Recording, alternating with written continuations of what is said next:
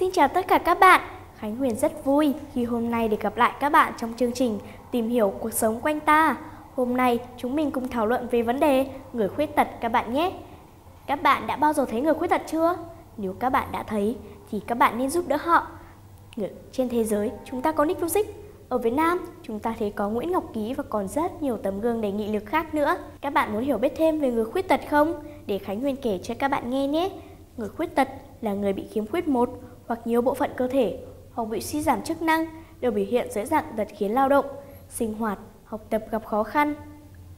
Và tất nhiên là họ có quyền được học tập như mọi người bình thường vậy. Nếu các bạn muốn biết thêm thì hãy xem các clip nói về người khuyết tật hoặc đọc trên mạng nhé. Mình mong rằng các bạn sẽ có những hiểu biết cơ bản về người khuyết tật và quyền học tập của họ để từ đó các bạn có những nhìn nhận đúng đắn về người khuyết tật, không nên kỳ thị hay phân biệt đối xử với họ. Để từ đó các bạn luôn giúp đỡ họ trong cuộc sống hàng ngày, còn đối với các bạn học sinh thì các bạn giúp đỡ họ trong học tập, ở trường, ở lớp. Rèn luyện không ngừng để trở thành con ngoan, trò giỏi, đội viên tốt, cháu ngoan bác Hồ, xứng đáng trở thành một người công dân tốt cho xã hội là chủ nhân Thăng Long, Hà Nội nghìn năm văn hiến. Các bạn ơi, chương trình của chúng mình đến đây là kết thúc rồi. Chúng mình cùng hẹn gặp lại nhau chương trình lần sau nhé.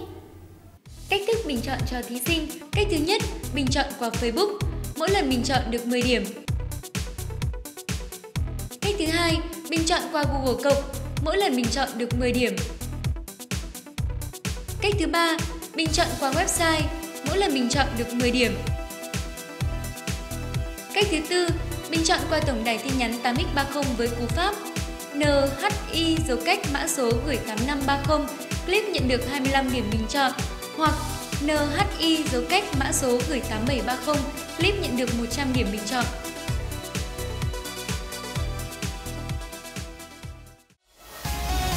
Các bạn nhỏ muốn chứng tỏ tài năng, muốn thể hiện năng khiếu hay muốn trở thành một MC truyền hình còn chần chờ gì nữa, hãy tham gia ngay cuộc thi Nhí Tài Năng được diễn ra trên khắp cả nước tại mô đun đài truyền hình Kids and Family TV VTC 11, thành phố hướng nghiệp Kids City, Hà Nội và thành phố Hồ Chí Minh.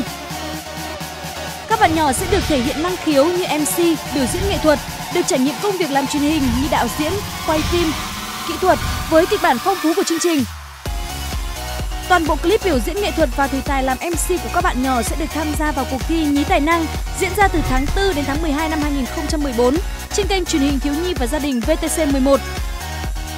Ca sĩ Đinh Mạnh Ninh, Á hậu MC Thụy Vân, diễn viên hài MC Thành Trung sẽ là những giám khảo uy tín cho cuộc thi năm nay. Tổng giá trị giải thưởng lên đến 500 triệu đồng cùng nhiều phần quà giá trị của các nhà tài trợ. Ngoài ra các bạn nhỏ sẽ được tham gia vào khóa đào tạo truyền hình cùng các chuyên gia hàng đầu và cơ hội trở thành MC truyền hình chuyên nghiệp. Tham gia bình chọn tại website www.nhí tài năng.com.